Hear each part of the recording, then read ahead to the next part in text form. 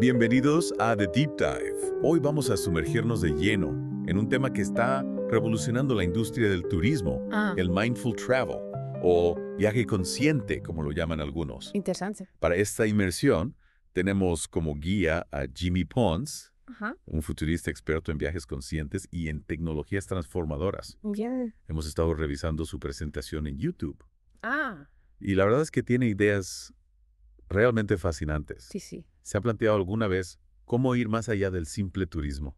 Ya sabes, Sí, claro. buscas experiencias de viaje más profundas y satisfactorias. Por supuesto.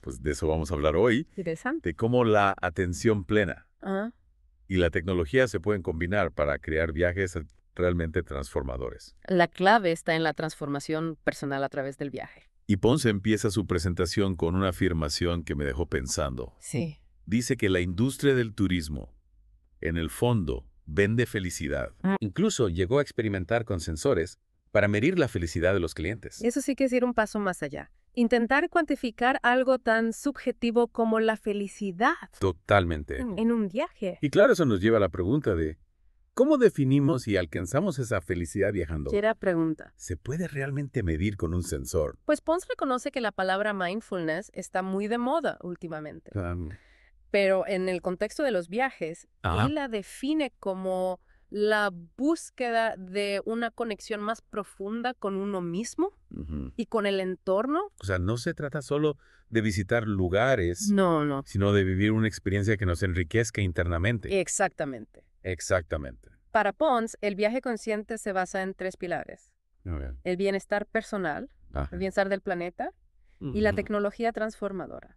Tres pilares que se complementan Sí, para lograr una experiencia más completa más completa, y significativa. sin duda. Y aquí viene una idea que me ha llamado mucho la atención. Sí. Pons desafía esa creencia de que para experimentar una transformación Ajá. personal, él defiende que el viaje consciente puede ocurrir en cualquier sitio. En cualquier sitio. Incluso en una escapada de fin de semana cerca de casa. Qué interesante. Es que a veces pensamos que necesitamos grandes viajes para desconectar Sí, sí. y para encontrarnos a nosotros mismos. claro. y no tiene por qué ser así. Pons nos recuerda que la transformación Ajá. está más relacionada con nuestra actitud ¿Y? y nuestra predisposición a conectar con el momento presente Ajá. que con la distancia recorrida. Y en ese proceso de conexión, la tecnología también juega un papel importante. Es verdad. Lo que me ha sorprendido es que Pons no rechaza la tecnología. No. Al contrario, Al contrario. cree que usándola de forma inteligente puede mejorar la experiencia del viaje consciente. Claro. Piensa, por ejemplo, en la realidad virtual para superar el miedo a volar. ¿Te imaginas poder disfrutar de un viaje en avión sin esa ansiedad previa? Sería genial.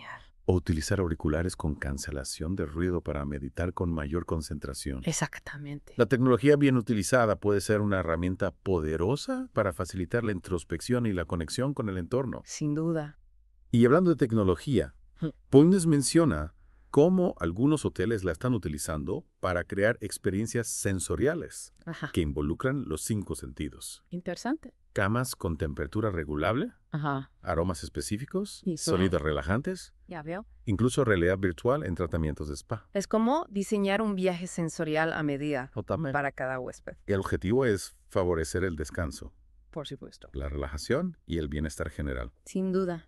Lo curioso es que no se trata solo de hoteles de lujo. Ah. Pons destaca una aplicación llamada Space in Space, Mm. creada por un ex monje tibetano, Interesante. que se está incorporando a cadenas hoteleras como Heare. En serio. Es fascinante, ¿verdad? Sí. La sabiduría de un monje tibetano aplicada a la experiencia hotelera. Es curioso, sí. ¿Quién le iba a decir? Lo interesante es que la aplicación se centra en mejorar el bienestar, tanto de los huéspedes como de los empleados. Es importante. Y en este punto, Pons nos advierte sobre las iniciativas de felicidad superficiales. ¿A qué te refieres? Esas experiencias que solo buscan la foto perfecta para Instagram. Sí. Aparentar felicidad en lugar de cultivarla desde dentro. Exacto. Ensasten la importancia de la conexión humana genuina Claro. y las experiencias auténticas. Es decir, buscar la felicidad en las pequeñas cosas, Sí. en los detalles que nos hacen sentir bien de verdad. Pons menciona cómo destinos como Nueva Zelanda y Costa Rica están adoptando el viaje consciente, Ajá. yendo más allá de ecoturismo. ¿En qué sentido? Buscan un enfoque holístico Sí.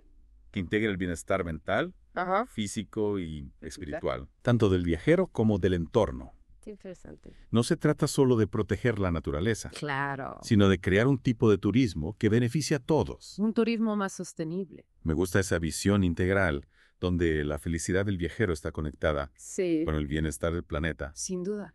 Y por último, Pons, con un toque de humor, Ajá. señala cómo la palabra mindfulness se está utilizando para todo, Parece que todo tiene que ser mindful ahora. lo cual nos lleva a una reflexión interesante. Sí. ¿Realmente estamos practicando la atención plena o es solo una estrategia de marketing? Es esa cuestión. ¿Tú qué opinas? Pues es una buena pregunta. Yo creo que a veces caemos en la trampa de seguir las modas sin pararnos a pensar Sí. si realmente nos aportan algo. Es verdad. Pero por otro lado, me alegra que se hable de mindfulness, Ok. porque al final la atención plena es algo que todos podemos practicar Sí. y que nos puede ayudar a vivir de una forma más consciente. Retomando nuestra inmersión en el Mindful Travel, creo que es importante destacar algo que Pons menciona. Sí. El viaje consciente no se trata solo de relajación Ah. o de escapar del estrés, va mucho más allá. De acuerdo. De hecho, Pons lo describe como una oportunidad para conectar con un propósito más profundo en nuestras vidas. Habla de viajes transformadores. Exactamente. Ah, Donde no solo regresas con fotos y recuerdos, claro. sino con una nueva perspectiva sobre ti mismo y sobre el mundo. Y esa transformación, a su vez, puede tener un impacto positivo en nuestras vidas, Sin duda, en nuestras relaciones, por supuesto. en la forma en que interactuamos con el mundo. Totalmente. Lo que me parece fascinante es cómo Pons conecta el bienestar personal con el bienestar del planeta. Es fundamental. No se trata solo de cuidarnos a nosotros mismos, sino de cuidar también del entorno que nos rodea. Y esa conexión es fundamental para la sostenibilidad del turismo a largo plazo. Claro. No podemos seguir viajando de forma irresponsable, agotando los recursos naturales Mm. y dañando el medio ambiente. De ahí la importancia del cambio de enfoque. Ya no se trata solo de ecoturismo, Ajá. sino de un enfoque holístico que integra el bienestar mental, físico y espiritual. Totalmente. Esa visión integral es clave. No podemos separar nuestra propia felicidad No. del bienestar del planeta. Pons nos invita a replantearnos nuestra relación con el viaje, Sí. a verlo no solo como una forma de escape, sino como una oportunidad para crecer, Mm. para aprender y contribuir a un mundo mejor. Una invitación que vale la pena considerar Sí. en un mundo cada vez más acelerado. Y conectado. Nar, ¿no? El viaje consciente nos ofrece la posibilidad de reconectar con lo esencial. Con nosotros mismos, con la naturaleza y con un propósito más profundo. Y aunque Pons reconoce el potencial de la tecnología para mejorar el viaje consciente, Sí. también advierte sobre la necesidad de encontrar un equilibrio. Es verdad. Es fácil caer en la trampa de estar hiperconectados incluso durante las vacaciones, Totalmente. revisando constantemente el correo electrónico o las redes sociales. A veces necesitamos desconectar de la tecnología para poder conectar realmente con el momento presente. Pons nos anima a utilizar la tecnología de forma consciente, ¿Sí? como una herramienta que nos ayuda a profundizar en la experiencia, Ajá. pero sin permitir que nos domine. Nos desafía preguntarnos cómo podemos usar la tecnología para mejorar nuestras experiencias de viaje, sin perder la conexión humana. Es una pregunta clave. Y creo que la respuesta reside en encontrar un equilibrio, en usar la tecnología como un complemento, Mm, pero no como un sustituto de la interacción humana. claro. Para terminar, Pons nos deja con una frase que resume a la perfección. La esencia del viaje consciente. Dice, la paz interior es el nuevo éxito, la salud, la nueva riqueza, el tiempo, el nuevo lujo, la naturaleza, el nuevo tesoro, la amabilidad, el nuevo cool y la inteligencia emocional, el nuevo sexy.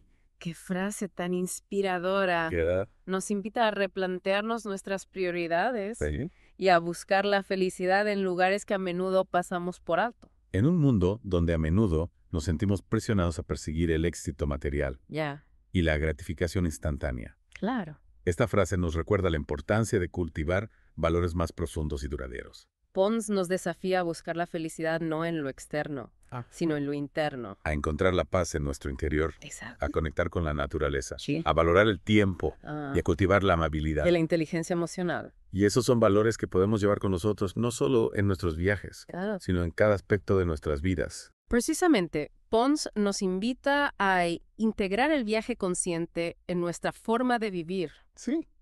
a buscar la transformación no solo en momentos puntuales, sino en nuestro día a día. ¿Cómo podemos integrar estos principios en nuestra vida diaria, incluso si no estamos de viaje? Esa es la pregunta del millón, ¿no? Claro. Porque al final la atención plena no se limita a un lugar, No. a un momento específico. Es una forma de estar en el mundo. Totalmente de acuerdo.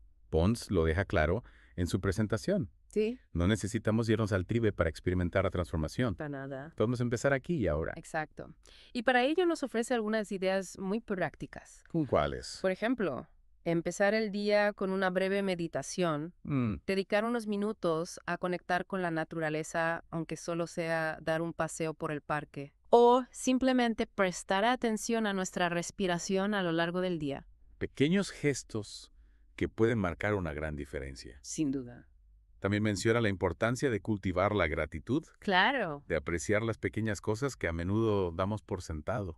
En un mundo donde estamos constantemente bombardeados con mensajes que Sí. nos dicen que necesitamos más, Las cosas, más cosas, más experiencias. claro. La gratitud es un antídoto poderoso. Nos ayuda a centrarnos en lo que realmente importa. Exacto. Y hablando de tecnología, Pons nos anima a usarla de forma consciente, a ver.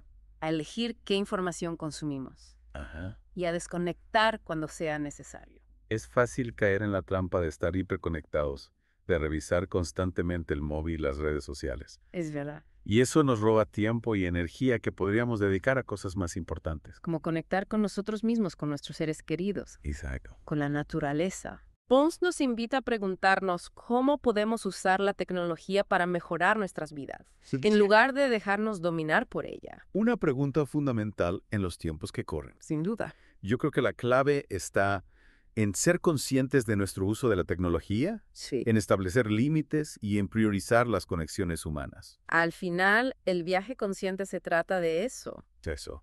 De conectar con lo que realmente importa. Encontrar la paz interior Cuidar de nosotros mismos. y del planeta. Vivir con un propósito. Esa búsqueda de significado. Sí. Y conexión no tiene por qué limitarse a un viaje físico. No. Puede ser un viaje interior, una exploración constante de nosotros mismos Claro. y del mundo que nos rodea. Y con esa reflexión, Lizzie, creo que hemos llegado al final de nuestra inmersión en el Mindful Travel espero que os haya inspirado a buscar la transformación no solo en vuestros viajes, en la vida diaria. sino en cada aspecto de vuestras vidas. Como dice Jimmy Pons, la paz interior es el nuevo éxito.